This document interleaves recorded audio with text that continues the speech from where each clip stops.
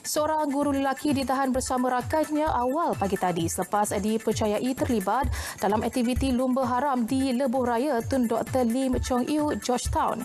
Difahamkan guru yang berusia 25 tahun itu masih dalam tempoh percubaan dan mengajar di sebuah sekolah menengah kebangsaan di kawasan timur Laut Pulau Pinang.